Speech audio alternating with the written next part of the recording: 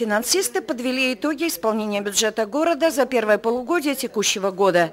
Конкретные цифры по статьям доходов и расходов привела в своем докладе на исполкоме городского совета начальник финуправления Керчи Галина Плужникова. По итогам первого полугодия текущего года в доходную часть бюджета поступило 202 миллиона 978 тысяч 800 гривен. План по доходам общего фонда, утвержденный местным советом, за первое полугодие выполнен на 105,2%.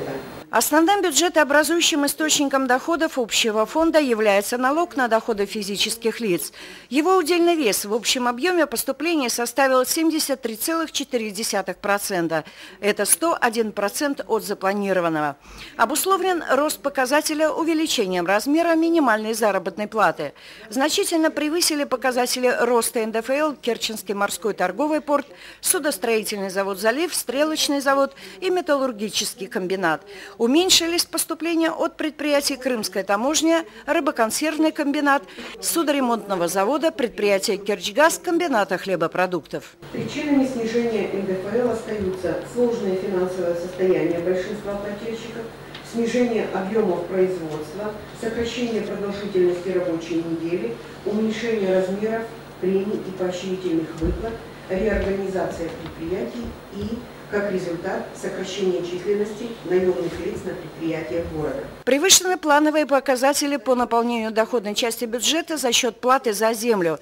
В целом, органы исполнительной власти за истекший период провели порядка 20 заседаний, на которые приглашали руководители предприятий с единственной целью – планы по наполнению доходной части бюджета должны быть выполнены. Главный руководитель города приостановил докладчика и попросил обозначить конкретные проблемы в исполнении бюджета. На что ж нацелить сегодня наших руководителей по выполнению бюджета следующего полугодия, или будем так говорить, годового главного финансового плана нашего? Бюджет города по состоянию на 1 июля все-таки имел задолженность перед э, управлением жилищно-коммунального хозяйства в результате и по, перед э, предприятиями коммунальными города. В течение июля месяца, и вот сейчас уже мы, немножко лучшая ситуация становится с финансированием э, прочих платежей, убедительная просьба к нашим коммунальным предприятиям принять максимальные меры э, к перечислению налога с дохода физических лиц, то имеющейся задолженности. Олег Осачий обратился к руководителям ведомств, от которых в первую очередь зависит наполнение городской казны.